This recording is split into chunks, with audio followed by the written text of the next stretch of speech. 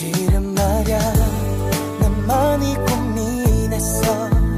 내게 아무것도 해줄 수 없어